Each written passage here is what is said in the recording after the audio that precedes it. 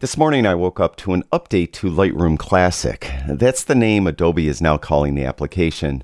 Those of you that have been around Lightroom for a while know that Adobe keeps changing the name of the program. Most recently it was called Lightroom Classic CC. Now they're calling it Lightroom Classic. At any rate, this new update is version 8.4 and I would characterize it as a minor update. It has the typical bug fixes and new camera and lens support. Uh, and it has a couple new features, but again, I would say that these are minor features, and we're going to be going over them in this video. First of all, they've supposedly improved performance in the library module. Now, I don't know about you, but my Lightroom, when I go from folder to folder in the library module or I jump to a collection, it's really laggy and slow. Supposedly, Adobe has improved this. Now, whether or not they actually did, I don't know. I haven't used it enough. Uh, but hopefully they have because I was mm, kind of annoyed by the performance of Lightroom in the library module. The other thing they've done is they added a new output image type. So if you go to the export module and you go down to file settings under image format, you'll notice now that you could export to a PNG file. That was never available until now, which I always thought was kind of odd because PNG is a relatively popular image format. So you can now do that uh, in Lightroom.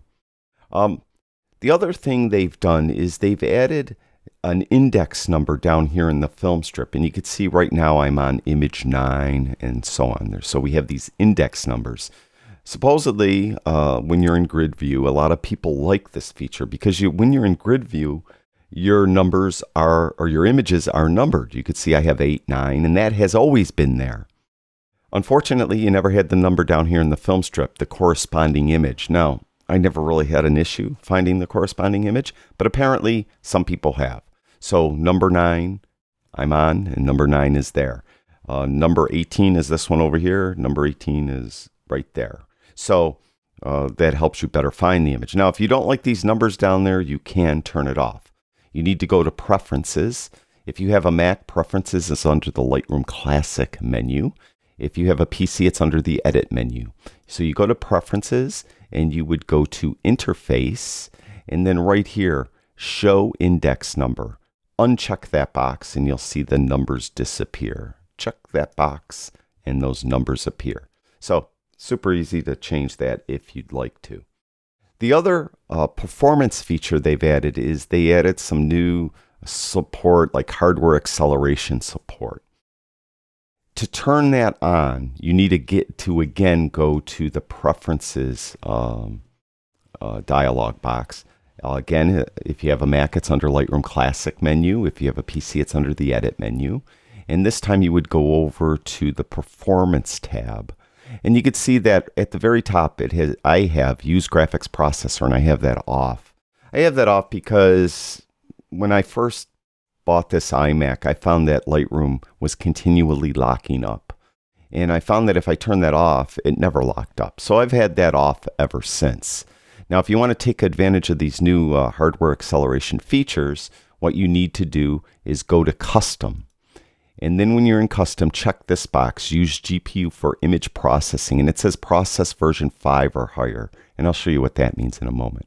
So you would check that box. So this is supposedly uh, going to give you better performance. And this is most notable if you're using a 4K monitor. Um, a computer is using a lot of resources to drive a 4K monitor. And apparently, I've never experienced it because I don't have a 4K monitor, but apparently, um, Lightroom became laggy uh, because of that. Well, supposedly, if you check here, uh, it will better optimize your GPU for your 4K monitor and for Lightroom. Now, whether or not it makes any difference for non 4K monitor users like me, no idea. But I'll leave it check for a while and I'll see, first of all, if my computer starts locking up again or Lightroom starts locking up again. And secondly, if I do see any uh, performance boost. So I'm going to leave that on. Now, as far as this process version 5 or higher, when you're in the develop module, if you're down here in the calibration tab, you'll notice where it says process. That's the process version. That's the process engine you're using. Um, version 5 is the current process engine. Uh, older versions of Lightroom used older versions. Now, any new imports or new images that you import into Lightroom will automatically go to process version 5. Any older imports you have in your Lightroom catalog will probably be in one of the older versions. If you want to take uh, advantage of those hardware acceleration performance enhancements, you'll have to manually come in here and change the process version for each of those images to version 5. So that's all that means. So just be aware of that.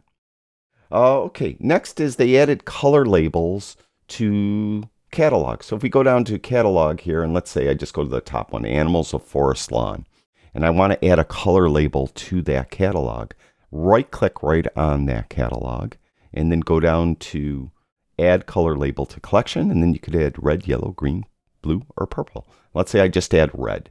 So now you'll notice that that catalog in the very far right edge here has a red line on it. So that's just indicating that uh, I gave that a red label and maybe I you know, I designate red as something important like, you know, images I really like or images I'm going to sell or something like that.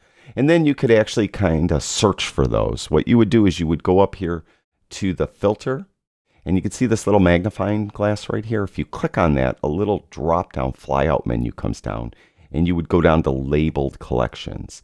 And now it will only show your labeled collections. And I only have one. And if you want to go back to the others, go to all. And now we have all our collections showing.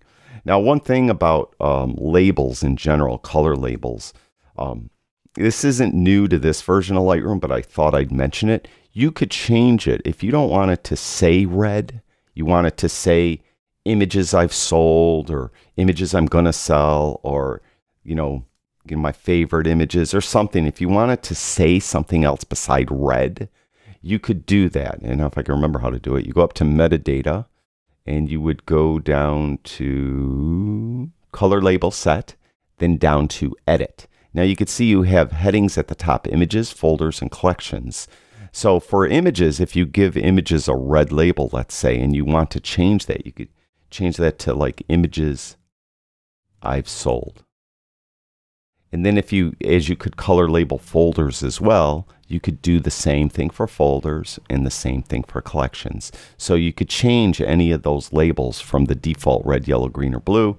Then you could also create a preset for it if you prefer. Uh, so save current settings as a new preset. You could go back to your default presets and so on. I'm just going to cancel. But that isn't new to this version of Lightroom, but I thought I'd mention it because it kind of goes hand in hand with color labels. Now, the final thing they've added uh, that maybe is a little bit more of a significant um, addition to Lightroom is they've added batch support for HDR merges and panorama merges. So you could do more than one. So in this example here, I have one bracketed set of images for a specific church. Uh, this is Our Lady of Basilica. Then I have another bracketed set of images for a different church. This is St. Anthony's Cathedral. If you want to batch process these as HDR, what you need to do is put them in a stack first, individual stacks, meaning this first church, Our Lady of Victory Basilica, select all of them. Click on the first one, hold the shift key down, and click on the last one. So all five images are selected. Then right click on any of the images in the film strip, go to stacking, and then go to group into stack. Now those five images are stacked, and this little icon in the corner of the thumbnail is showing us that it's stacked. Next, we need to stack the other group of images. So click on the first one. This is St. Anthony's Cathedral. Hold the shift key down, click on the last one. Then again, again you would right click, go to stacking, group into stack. Now we have the two stacks. Now what you need to do is just select both stacks. Click on one, hold the shift key down, click on the other one, or hold the command or control key down to, you know, select the other one. Then right click on either of them. Then go to photo merge. And then in this case, it's an HDR. You could do this panoramas as well. And then it's going to do two photo merge. And you can see up here, it's doing the merges automatically. So that's the way you could batch process either HDR merges or panorama merges in Lightroom. And I think that's all the new features. Let me look at my notes real quick while that's doing that. Uh, we did the color labels and let's see. I think that's everything. But at any rate, in the description below this video, I'll have a link to Adobe's website so you could um, take a look at all these uh, features and um, also there'll be uh, links on that web page that I'll send you to so you could look and see the new camera and new lens support um, in case you have a brand new lens or camera that hasn't in the past been supported by Lightroom. Hopefully in this version it is and you could check that out. So that's everything for this video, the updates in the latest version of Lightroom version 8.4. Thank you everyone that watches my videos. I truly do appreciate it. I'll talk to you guys soon.